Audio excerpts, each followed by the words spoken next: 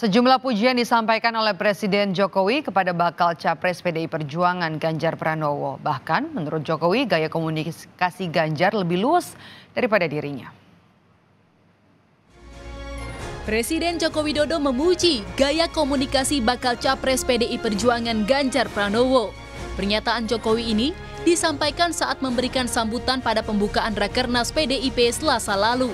Video pujian presiden ini kemudian beredar di media sosial. Jokowi menilai Ganjar bisa membawa Indonesia menjadi negara maju. 2024, 2029, 2034 itu menjadi sebuah batu loncatan untuk kita menjadi dari negara berkembang menjadi negara maju. Hanya kesempatan ini bisa kita manfaatkan secara cepat atau tidak. Tapi saya yakin di bawah Pak Ganjar Pranowo nanti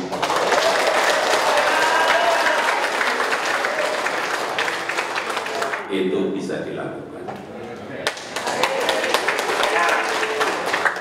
Kalau dilihat sebagai sebuah produk, Pak Ganjar ini semuanya punya. Komunikasi dengan rakyat, saya melihat, saya bulat balik atau ribuan kali saya dengan beliau. Dan rakyat juga enak, renyah. Gak kayak saya ini bertak badan. Sekjen PDIP Hasto Kristianto membenarkan bahwa Presiden Jokowi memang memuji bakal capres PDI Perjuangan Ganjar Pranowo. Bahkan Hasto menyebut pujian Presiden disambut dengan tepuk tangan meriah oleh peserta Rakernas PDIP. Selanjutnya PDIP akan bergerak bersama mewujudkan Ganjar menjadi presiden untuk melanjutkan kepemimpinan Jokowi. Ya itu betul sekali, bahkan semua tepuk tangan meriah.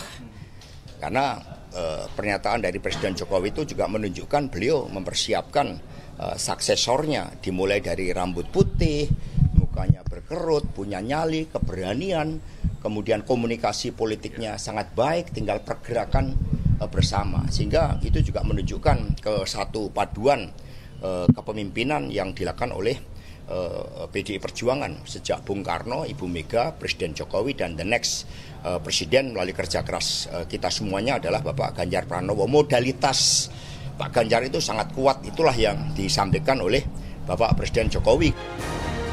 Hasto menyebut PDIP berterima kasih kepada Presiden Jokowi karena telah menyiapkan suksesornya Sementara, sejumlah usulan pemenangan yang diberikan oleh Jokowi akan ditindaklanjuti oleh tim khusus. Tim Liputan Kompas TV.